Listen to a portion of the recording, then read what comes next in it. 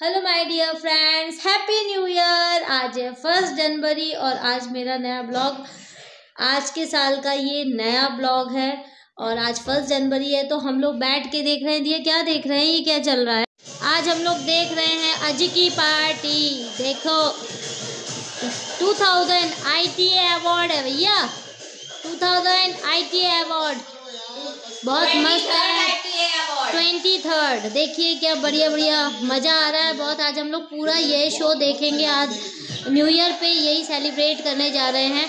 और दिया ने जो कल मुझे बहुत अच्छा गिफ्ट दिया था, एक बहुत ही शानदार।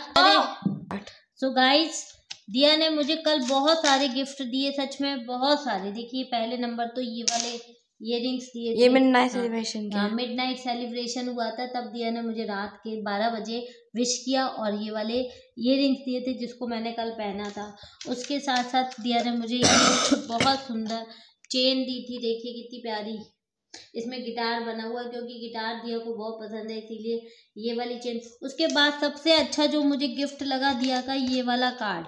उसके साथ साथ दिया ने मुझे जब बर्थडे का केक कटा, तब दिया ने मुझे ये वाले इयर रिंग्स दिए। देखिए कितने सुंदर। ये सब दिया की चॉइस है गाइस मेरी एक भी चॉइस नहीं है इसमें। ये सब दिया ने मेरे को दिए हैं। देखिए ये वाले इयरिंग्स कितने प्यारे लग रहे हैं। उसके बाद दिया ने मुझे एक ये वाला पेंडेंट सेट भी दिया था नेकलेस देखिए कितना सुंदर लग रहा है। है ना? खूब अच्छा लग रहा और सबसे अच्छा जो सबसे बेस्ट चीज़ थी, जो मुझे सबसे अच्छी लगी दिया की वो है ये कार्ड और इसको मैं लाइफ टाइम संभाल के रखने वाली हूँ। क्योंकि दिया मुझसे कह रही थी ना, मम्मी, आप मेरा एक भी आइटम बचपन का संभाल के नहीं रखे हो। तो मुझे ऐसा कुछ लगता नहीं था तो मैं नहीं संभालती थी। इसके वीडियोस मैंने बहुत संभाल के रखे हुए हैं अपने लैपटॉप में। वो मैं हमेशा देखती रहती हूँ। लेकिन जो सबसे बेस्ट अब तक का लगा है, वो ये कार्ड लगा। जो उसने बनाया था, देखिए कितना सुंदर, कितना प्यारा इसने बनाया और इतना अच्छा अच्छा इसमें लिखा हुआ है।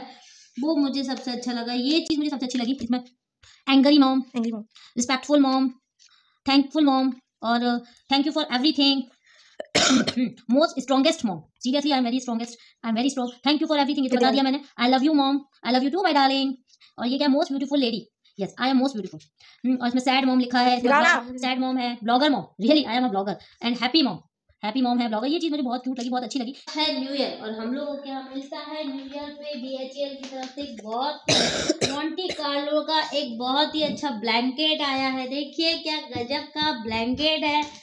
मज़ेदार। देखिए मस्त ब्लैंकेट मिला है हम लोगों को पिंक कलर का। दिया का फेवरेट पिंक कलर है ना दिया? पिंक फेवरेट नहीं है। तुम्हारा तो पिंक फेवरेट है। मेरा ब्लैक फेवरेट है। अब ब्लैक फेवरेट हो गया। देखिए डबल वो पहले से ही था। स्मूथी आप हमारे इस वाइटू को देख रहे हैं ना ये अब इस दुनिया में नहीं रहा। इसके साथ एक बहुत बड़ी घटना घट चुकी है। मैं आपको बताने वाली हूँ मैंने बताया नहीं था। दस बारह दिन पहले इसके साथ एक बहुत बड़ी घटना घटी है। इसको ना एक बाज ने खा लिया है। इसको बाज ने खाया है। ये बेचारा बेचारा मतलब बड़ा हुआ था, बाज आई, ये यहाँ पे साइड में बैठा हुआ था, बिल्कुल साइड में, बाज आई, बाज ने अपनी चोंच से इसको मार के घायल करके नीचे गिरा दिया था।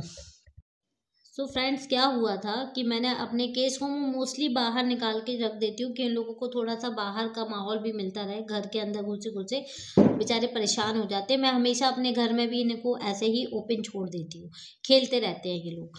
हम्म, अगर इन लोगों को खाना खाना होता तो ये अपने केस में जाते अदरवाइज़ ये पूरे दिन खेलते रहते। तो क्या हुआ कि मैंने केस को बाहर निकाला था बारह बजे धूप बहुत लेट आई थी तो मैंने इनको बाहर निकाल दिया था। बाज इन लोगों के ऊपर पहले से ही बहुत बार अटैक कर चुकी थी।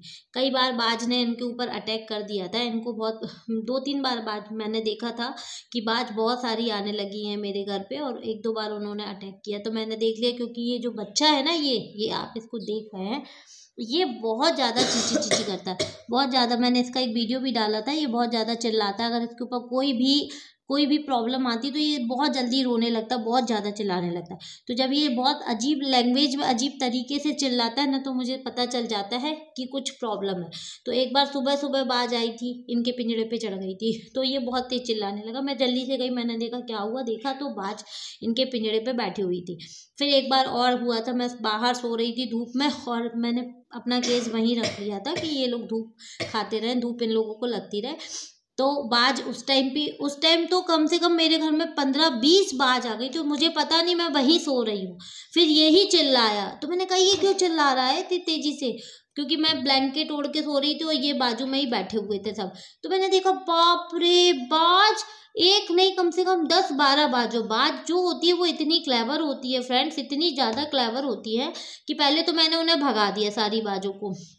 मैंने कहा, शायद आई होंगी कुछ खाने के लिए, इनको तो खाने के लिए नहीं आ सकती, क्योंकि इतने दिन से बजीज हमारे घर में रह रहे हैं, मैं तो इनको पाँच पाँच छः छः घंटे के लिए बाहर बिठा के रखती हूँ, गर्मियों में भी, सर्दी में भी, हर टाइम इन लोगों को बाहर बिठा के रख देती हूँ, और बाज मतलब बाज ऐसी कभी आई नहीं है हमारे घर पे। तो मैंने कहा कि ऐसी कुछ खाने के लिए आ गई होंगी, और मुझे नहीं पता था कि, क्योंकि उस टाइम जब मैंने देख नहीं पाया था, बस एक बात चढ़ी हुई थी और वो तुरंत उड़ गई जैसी मैं गई।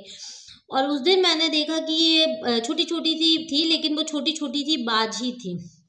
फिर क्या हुआ? एक दिन क्या हुआ? मैंने इन लोगों को अंदर साइड ही रखा था, बाहर एकदम ओपन स्पेस पे नहीं रखा था। बाज कैसे अंदर आ गई मुझे कुछ भी नहीं पता।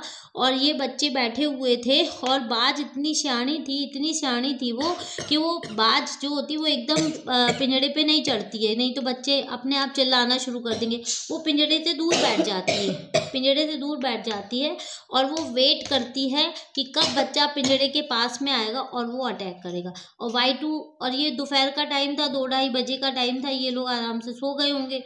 क्योंकि मैंने इन्हें नहलाया भी था थोड़ी देर पहले तो मैंने इनको धूप में बिठाया था।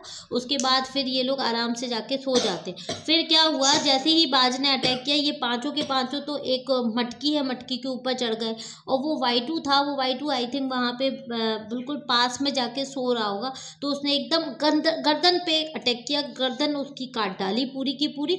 और वाइटू एकदम नीचे पड़ा और ये चिल्ला रही थी। ये इतनी ज़्यादा चिल्लाई उस वजह से।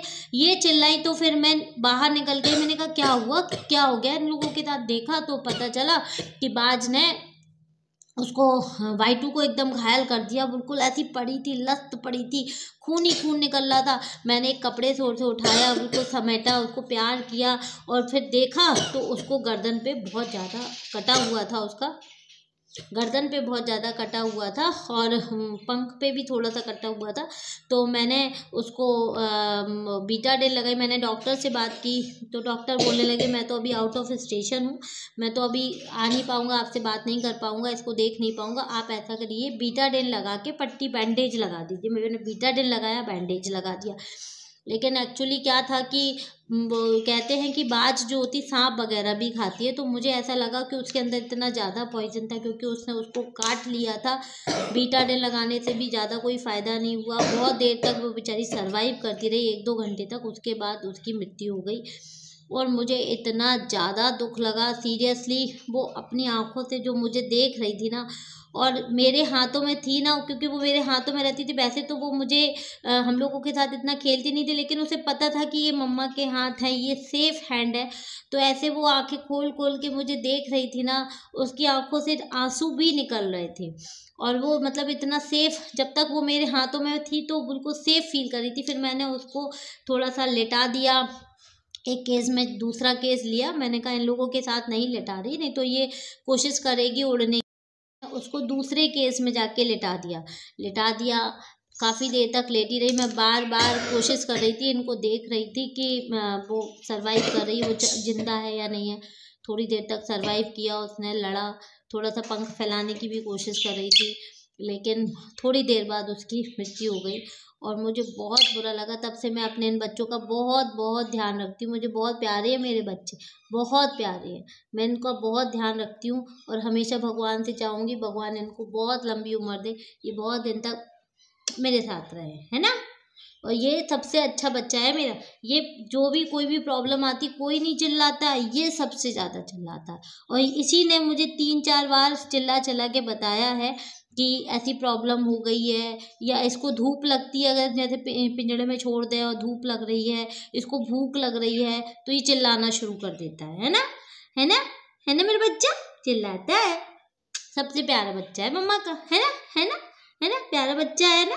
बहुत प्यारा बच्चा है। बाइटू को भी बचाने में और सबकी हेल्प सबको बचाने में इसी ने हेल्प करी थी, नहीं तो बाइटू के साथ साथ वो बात जाने किस किस को घायल कर दी थी, मुझे पता भी नहीं चलता। भगवान उसकी आत्मा को शांति दे, मैं बस यही चाहती हूँ। थैंक यू धन्यवाद।